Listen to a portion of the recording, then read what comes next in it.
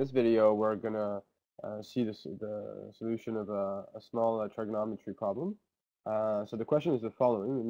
Knowing that uh, tangent theta is uh, equal to one-third, and that pi is, is that theta is uh, between pi and 3 pi divided by 2, we need to find sinus pi divided by 3 minus theta. Okay, so the way I did it was to start by uh, sinus pi divided by 3 minus theta over here. Um, and I developed that uh, using uh, using uh, the, um, subtraction formula.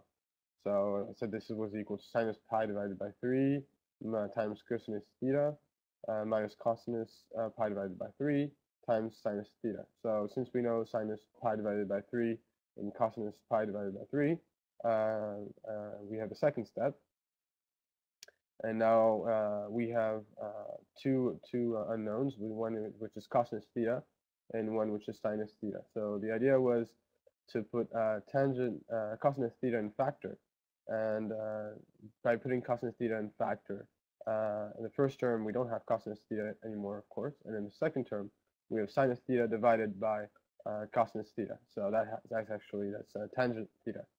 So that's why we have uh, 1 divided by 2 multiplied by, uh, multiplied by 1 divided by 3.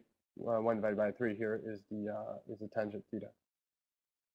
So basically here, uh, at the fourth step, we have sinus pi divided by 3 minus theta, which is equal to cosinus, cosinus theta times something. So to go on, uh, we need to find to express cosinus theta.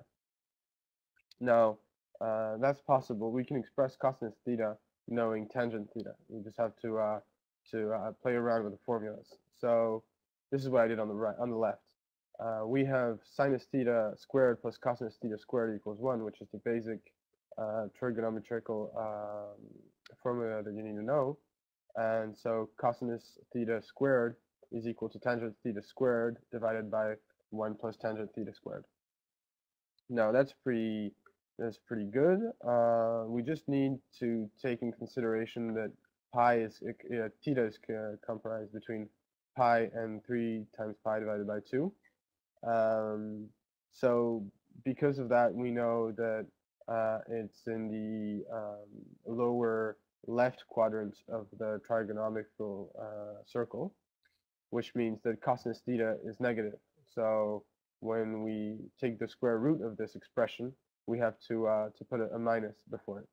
So we have cosinus theta, which is equal to minus tangent theta divided by square root of 1 plus tangent uh, theta squared. So now we just have to plug in with what we know, that tangent theta is equal to 1 third, and we get cosinus theta is equal to uh, 1 divided by uh, the square root of 10.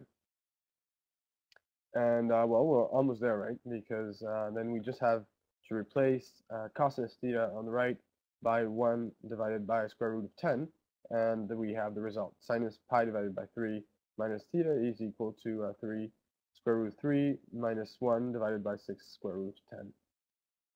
So here you go.